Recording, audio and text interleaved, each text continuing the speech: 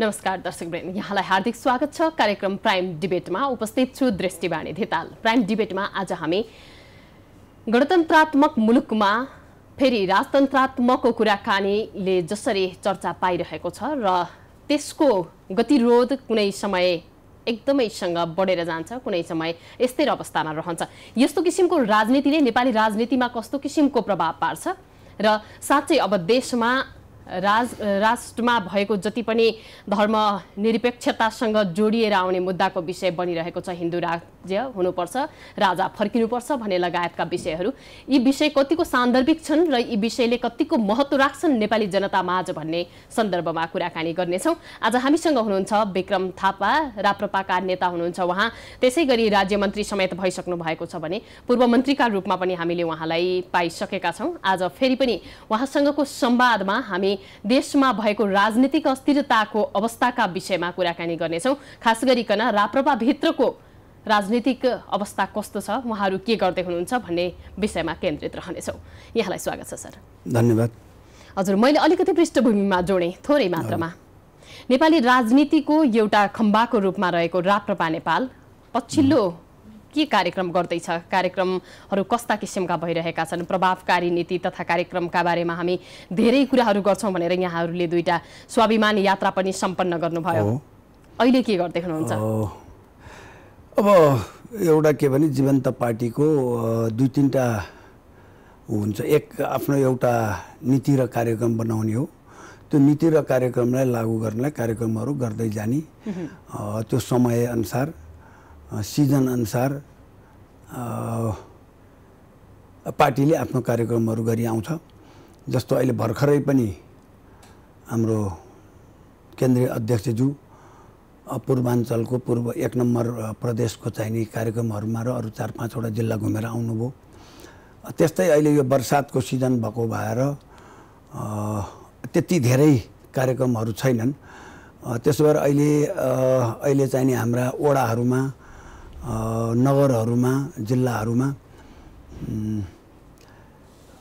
कार्यक्रम कार्यकर्ताहरूसँग भेटघाट र वडा समितिहरूको पुनर्गठन नगर र जिल्ला क्षेत्रका कार्यक्रमहरूको चाहिँ नि त्यहाँका कार्यकर्ताहरूसँग भेटघाटबाट आवश्यकता अनुसारको थपघट पुनर्गठन आदिका कार्यहरू अहिले पनि छन्। र अब निकट भविष्यमै अब फेरि हाम्रो उत्तर दक्षिण स्वाभिमान बाँकी जिल्लाहरूको यो पचहत्तरै जिल्ला सतहत्तरै जिल्लामा हुने हाम्रो कार्यक्रम यो बाँकी जिल्लाहरूमा फेरि उत्तर दक्षिणको कार्यक्रमहरू यो बर्सातको अलिक कमी हुन साथै हाम्रो कार्यक्रम यो कुरा सुरु हुन्छ।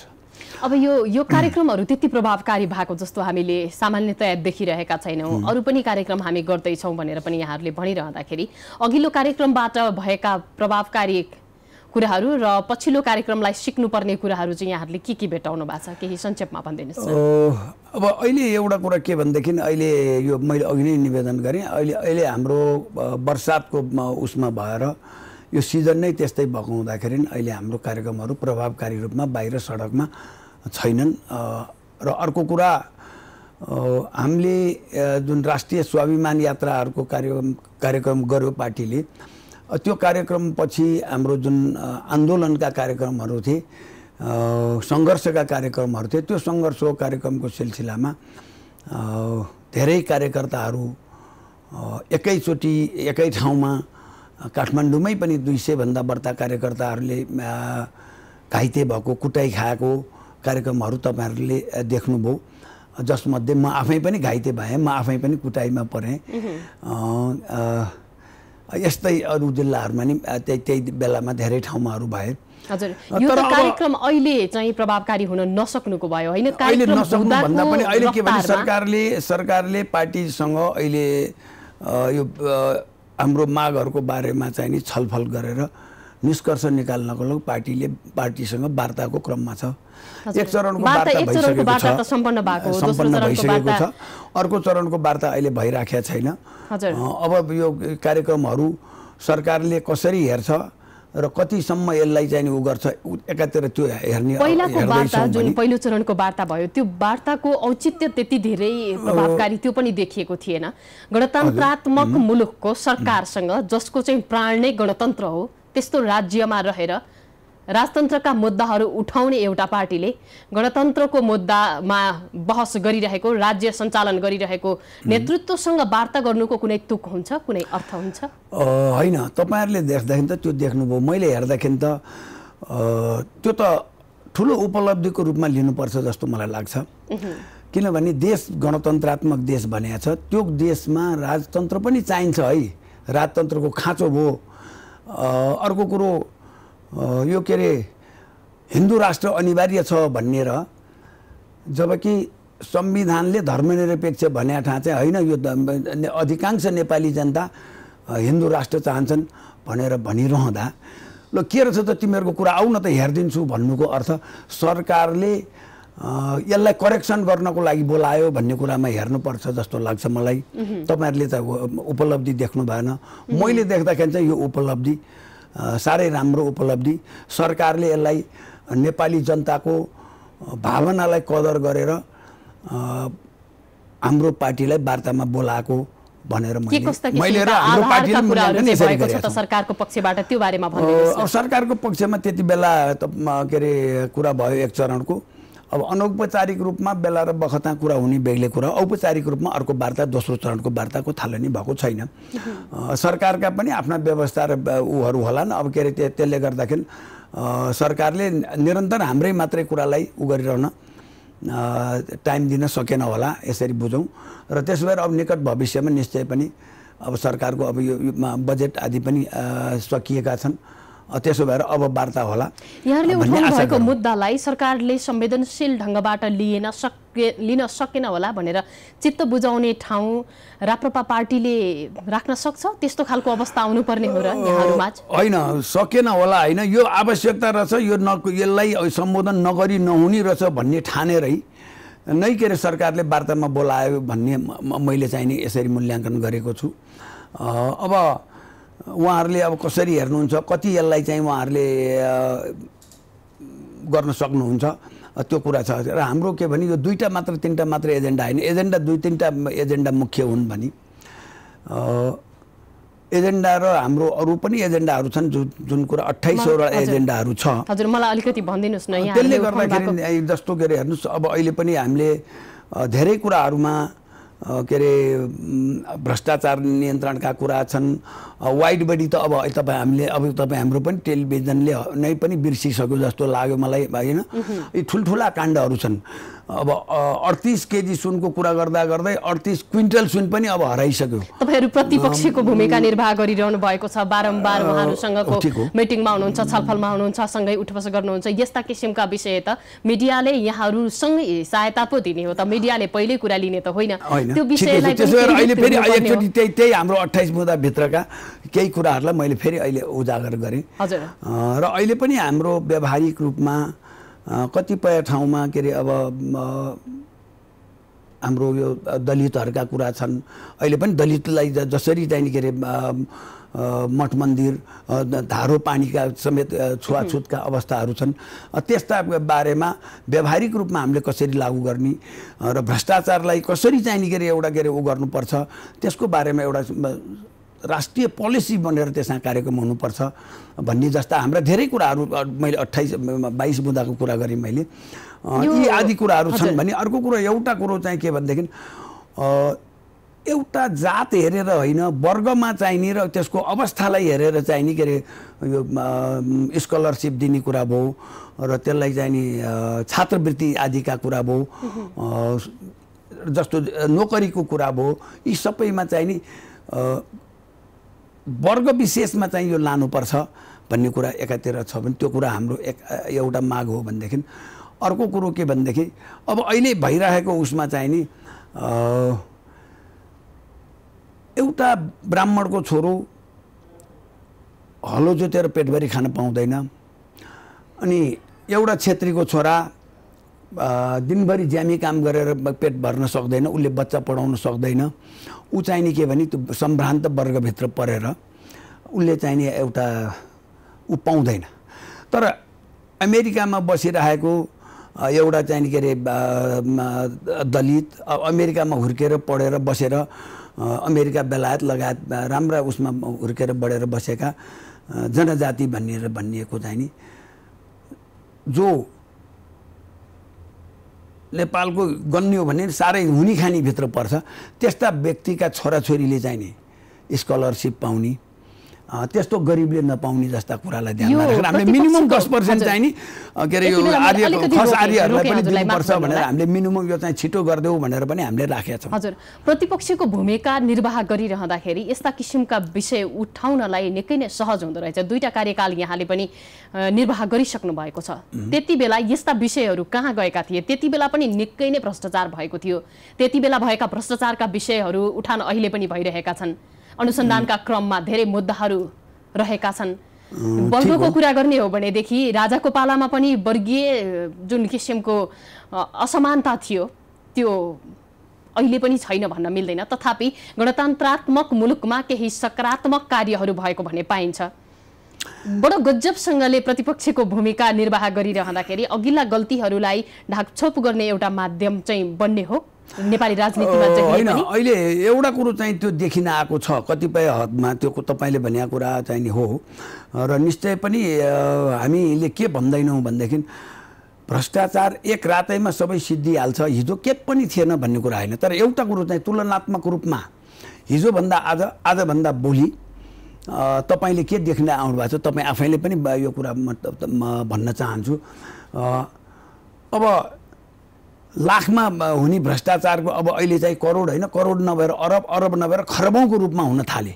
त्यो कुरो पनि अब के अरे एकदम सिरियसली उठ्ने र हिजो पनि वास्तवमा भ्रष्टाचार चाहिँ क्षम्य चाहिँ होइन।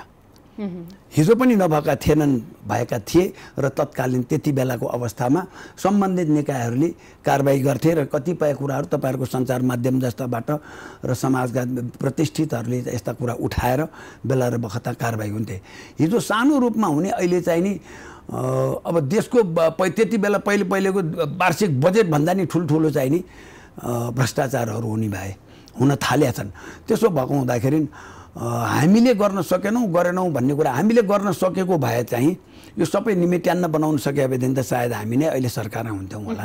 हामीले सायद त्यो कुरा गर्न नसकेकै भएर होला।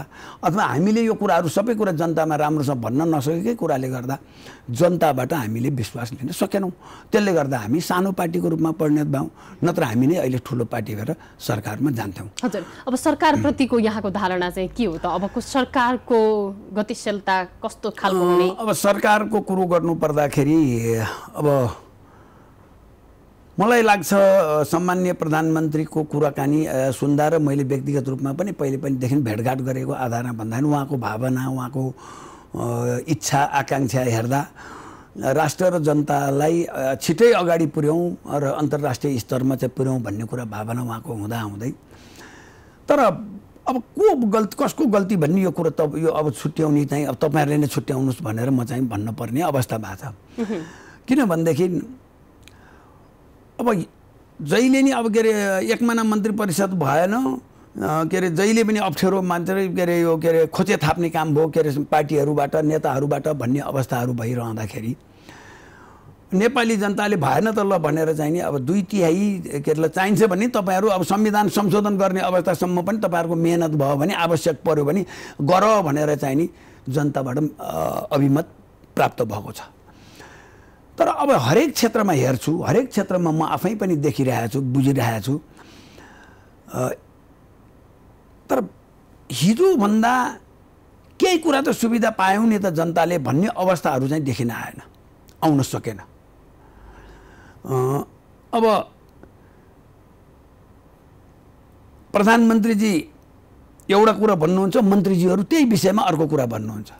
प्रधानमन्त्रीको र मन्त्रीको जुहारी चल्ने अवस्थाहरू पनि तपाईँले देख्नुभयो जस्तै जस्तो अस्तिको के अरे इन्डियाबाट चाहिँ नि भएको पत्र आएको थियो मैले प्रधानमन्त्रीज्यूलाई दिएको हुँ देखाएको थिएँ भन्नुहुन्छ एकातिर मैले थाहा नै पाइनँ भन्नुहुन्छ प्रधानमन्त्री। समन्वयको अभावले गर्दाखेरि ओली सरकार यस्तो किसिमको आन्तरिक किचलोमा फस्दै गएको हो त त्यसो भए? अब समन्वय भएन भनौँ भनेदेखि क्याबिनेट सिस्टमको जहाँसँग कुरा हो संसदीय पद्धतिको कुरामा क्या प्रधानमन्त्री अल इन अलै हुनुहुन्छ। त्यो जहाँ पनि हो र त्यो के अरे वेस्ट मिनिस्ट्री उसमा त्यस्तै हुन्छ। अब मलाई त के लाग्यो भने त्यसै भएर मैले भन्छु सबै कुरा त भयो बानी र बेहोरामा सुधार आएको छैन। न त कर्मचारीमा आउनु ल्याउन सकेको छ न आउन सकेको छ न त नेताहरूमा आएको देखिन्छ। अहिलेसम्म पनि मैले हेर्दाखेरि त्यो देख्छु। त्यसले देख्दाखेरि अहिले जुन आशा र उमङ्ग जनतामा आएको थियो त्यो आशा र उमङ्ग चाहिँ निराशामा परिणत हुँदै गएको अवस्था चाहिँ देखिन्छ।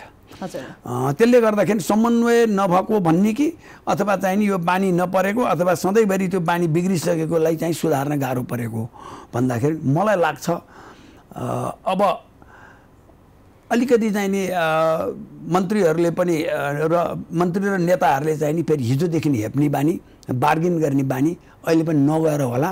प्रधानमन्त्रीलाई नटेरे हो कि? अथवा प्रधानमन्त्रीज्यूले अब के गरौँ चलाइराखौँ भने फेरि रिसाउँछन् भनेर हो कि? त्यो कुरो चाहिँ यो विषयमा एकैछिनपछि कुराकानी गर्नेछौँ। अहिले कार्यक्रममा पालो भएको छ विश्रामको।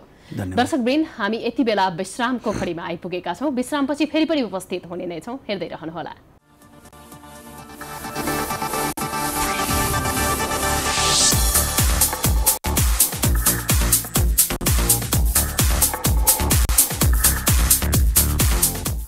फेरि पनि स्वागत छ दर्शकवृन्द यहाँलाई कार्यक्रम प्राइम डिबेटमा। प्राइम डिबेटमा आज हामी नेपाली राजनीतिभित्रको एउटा राजनैतिक दल राप्रपासँग केन्द्रित भएर कुराकानी गरिरहेका छौँ र आज हामीसँग विक्रम थापा राप्रपाका नेता तथा पूर्व मन्त्री हुनुहुन्छ।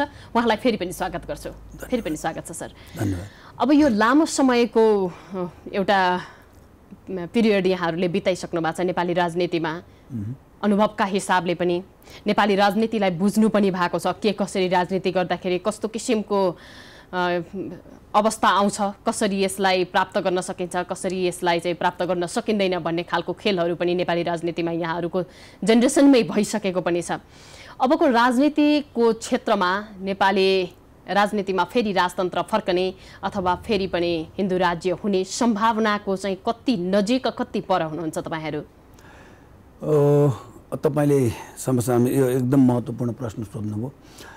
अब यो हिन्दू राष्ट्रको बारेमा त अहिले तपाईँलाई नै अहिले भोटाल भनेर ऊ त्यहाँ पठायो भने तपाईँले केमा भोट हाल्नुहुन्छ भने हिन्दू राष्ट्रै चाहिन्छ भन्नुहुन्छ। यहाँ अहिले अरूलाई पनि। र त्यति मात्र होइन हेर्नुहोस् म त्यति बेला सांसद थिएँ तपाईँले अब के अरे उजागर गरिराख्नु भएको छ भनिराख्नु भएको छ। म आफै पनि त्यति बेला के अरे संविधान सभा सदस्य थिएँ। जनता कहाँ बुझ्न गयो नब्बे पर्सेन्ट पन्चानब्बे पर्सेन्टभन्दा बढ्ता जनताले हिन्दू राष्ट्र राख्नुपर्छ धर्मनिरपेक्षता हटाऊ भनेर पठाउनु भयो। पचहत्तर पर्सेन्टले कुनै पनि शर्तको चाहिँ नि राजतन्त्रलाई पनि ठाउँ देऊ भनेर चाहिँ नि दिएर पठाउनु भयो। त्यति मात्र होइन सङ्घीयताको बारेमा नि उहाँहरूले चाहिँ राय दिनुभएको छैन। तर त्यो जम्मै पोको ल्याएर चाहिँ तपाईँहरूले के भने भर्याङ मुनि फाल्नुभयो कोठाभित्र फाल्नुभयो हेर्दै हेर्नु भएन हेर्नै दिनु भएन टाइम पनि दिनु भएन रातारात हामीले केही निश्चित नेताहरू चार पाँचजना आठ दसजना नेता बसेर रातारात बनाएर हामीले जनतालाई जनताको नाउँमा संविधान दिउँ अब त्यसले गर्दाखेरि जनताको वितृष्णाहरू यथावत छन् जनताहरू आशावादी अहिले पनि छन्। त्यसो भएर हिन्दू राष्ट्रको त कुरा यो नसोधिकन भोलि बिहान घोषणा गर्नुभयो भने अथवा आँट छ भने त्यति बेला नि बोले आउँ मैले संसदमा पटक पटक बोले आउँ हामी जनताको दुहाई दिने हामी लोकतन्त्रको कुरा गर्ने प्रजातन्त्रको कुरा गर्ने डेमोक्रेसीको कुरा गर्नेहरूले एकचोटि जनतासँग सोधौँ न। यत्रो कुरा अहिले तपाईँ हेर्नुहोस् इन्डियामा समेत अब हेर्नुहोस् हेर्दाखेरि हरेक क्षेत्रमा चाहिँ धार्मिक राष्ट्र जस्तो चाहिँ मात्रै देखिन्छ। जहाँसुकै जाऊ। भने नेपाल त अझ त्योभन्दा नि उद्गम स्थल। हिमालयको चाहिँ के अरे काखमा बसेको देशको। जनताले के भन्छन् भन्ने कुरा सोध्न आँट गर्छन् अहिले पनि नेताहरू। तर मलाई त लाग्छ भोलि बिहान हिन्दू राष्ट्र घोषणा हुनुपर्छ। त्यतिसम्म सम्भावना छ जनताको भावना त्यो छ। राजतन्त्रको कुरा जहाँसँग गर्नुभयो राजतन्त्रको कुरा हामीले उठाइरहँदाखेरि हामीले मात्र होइन एक थरी त अब जनता आफै पनि भनिरहेछन्। तर हिजो हामीले जुन कुरा जुन बेला भनिरहेका थियौँ त्यति बेला जनताहरूले हामीलाई साथ दिन आँट गर्नु भएन। अब अहिले जनता चाहन्छन् राजतन्त्र चाहिँ चाहिने रहेछ भनेर। तर राजतन्त्रको कुरा पनि मैले टाढा चाहिँ देखाएको छैन। तर कुरा के भनेदेखि कुनै पनि सिस्टम महत्त्वपूर्ण कुरा गर्दाखेरि बृहत र व्यापक छलफलका बावजुद निकाल्नुपर्छ। त्यसको सल्युसन भन्ने चाहिँ राप्रपाको ठहर हो। त्यसो भएर राज संस्थाको कुरा राजतन्त्रको कुरा जहाँसम्म उठ्छ त्यो उठ्दाखेरि चाहिँ नि यो सबैले पचाउने खालको चाहिँ राजतन्त्रको स्थापना गरौँ। पहिला जस्तो किसिमको मेरो मेरो सरकारबाट मेरा हुकुमले यति दिएँ यति गरेँ भन्ने होइन कि जनताको भावना अनुसार मैले यति काम गरेँ। र संसदको यो यो आएको भएर मैले यो काम गरेँ संसदको सिफारिसबाट भन्ने। र त्यसमा मात्रै आधारमा र एउटा शासकको रूपमा होइन अब शासकको रूपमा राजतन्त्रको परिकल्पना गरे पनि छैनौँ र गर्नु पनि हुँदैन। गर्ने पनि होलान् कोही तर ती चाहिँ नि दिवा स्वप्न मात्र हुन्। रियलिस्टिकमा भन्नुपर्दा राज संस्था राजतन्त्र भनेको एउटा गरिमाको लागि र एउटा संरक्षकको देखाउनको लागि मात्रै हो। अरू सबै शासक वर्ग चाहिँ नि देशको प्रधानमन्त्री एकदमै। अन्त्यमा पुगिसकेका छौँ। मेरो एउटा अन्तिम जिज्ञासा रहेको छ यहाँ समक्ष यहाँहरूको अध्यक्षज्यू नेपाल सरकारसँग मिलेको र आफूलाई चाहिँ यो यति बेला सशक्त रूपमा जुन आन्दोलन छ यहाँहरूको राज राज संस्था र हिन्दू राष्ट्रसँगको त्यसलाई मिलाउन भन्दा पनि अलिकति लचक भएर लागेको भन्ने खालको एउटा खालको टिप्पणी पनि भइरहेको छ। संक्षेपमा के भन्नुहुन्छ? हेर्नुहोस् अब यो कुरो चाहिँ नि हाम्रो अध्यक्षज्यूलाई एउटा कुरा मैले इमान्दारीपूर्वक भन्नु पर्यो भने हाम्रो सम्मान्य अध्यक्ष कमल थापालाई। उहाँसँग सबैजनालाई त्रसित हुनुहुन्छ सबैजना। किनभने उहाँको त्यो एक्स्ट्रा अर्डिनरी क्षमता देखेर पनि हो यसरी मैले त्यत्रो विधि भनिरहँदाखेरि तपाईँहरूलाई लाग्छ। उसैको मात्रै तपाईँलाई त्यस्तो लाग्छ। तर वास्तवमा रियालिटीको कुरो गर्नुपर्दा। अब त्यसले गर्दाखेरि उहाँको बारेमा त अनेक टिका टिका टिप्पणी हुनु स्वाभाविकै हो। र अहिले हामी सरकारसँग मिल्यो भन्ने कुरा होइन हाम्रो अध्यक्षज्यू पनि मिल्नु भएको भन्ने कुरा होइन। देशमा चलेको सरकार देशमा जनताले बनाएको सरकार देशको सरकार र कानुन सबैले मान्नुपर्छ। चाहे त्यो देश अमेरिकामा जानुहोस् चाहे बेलायतमा जानुहोस् चाहे चिनमा जानुहोस् चाहे नेपाल र भारत जहाँसुकै पनि। त्यसो भएर अध्यक्ष अथवा हामीले सरकारको सरकारको निर्णय हामी परिवर्तन गर्न सक्ने क्षमतामा छैनौँ भने हामीले मान्नु परेन सरकारलाई। त्यस्तो अर्थमा मिलेकै छौँ। र अर्को कुरो के भनेदेखि हिजो म पनि के अरे अहिलेको प्रधानमन्त्रीजीको चाहिँ उसमा चाहिँ के अरे मन्त्री परिषदमा थिएँ। होइन? त्यस्तो भएर के अरे त्यसको अर्थ एकचोटि मन्त्री परिषदमा गएको भएर त्यही मात्रै थियौँ भन्ने कुराहरू होइन। र कतिपय कुरा अहिले पनि भन्छु। नेताहरूमा नि के अरे नजिक र पर चाहिँ हुन्छ। आफ्नै पार्टीभित्र नि हुन्छ अरूसँग नि हुन्छ। त्यस अर्थमा कति कुरा चाहिँ नि हाम्रो चाहिँ नि के अरे। एमालेको त्यति बेलाको नेतासँग चाहिँ नि केही नजिकपन हामीहरूको थियो होला होइन? अब अरू कुरा चाहिँ त सौहार्दता सबैसँग छ। किनभने हामी फेरि पछिल्लो पटक तपाईँहरूले देख्नु भएको छ अब हामी डेमोक्रेटिक एलायन्समा जानुपर्छ भनेर हामी डेमोक्रेटिक एलायन्समा गयौँ। जसले गर्दाखेरि नि हामीले चाहिँ नि के अरे त्यसमा हामीले अब हामी एकदमै। यहाँहरूले जसरी आश गर्नु भएको छ जसरी एउटा गृह कार्य गर्नु भएको छ त्यसै गरी चाहिँ यहाँहरूको लक्ष्य प्राप्त होस् भन्ने हाम्रो शुभकामना सँगै यहाँलाई आभार प्रकट गर्छु। धन्यवाद छ। यो मौका दिनुभएकोमा तपाईँ र यो हाम्रो प्राइम टिभीलाई पनि मेरो पनि मेरो तर्फबाट र पार्टीको तर्फबाट हार्दिक धन्यवाद छ। दर्शकवृन्द यहाँलाई पनि धेरै धेरै धन्यवाद छ। कार्यक्रम हेरिदिनु भयो हेर्दै रहनुहोला प्राइम टाइम्स टेलिभिजन। बिदा हुन्छौँ। नमस्कार।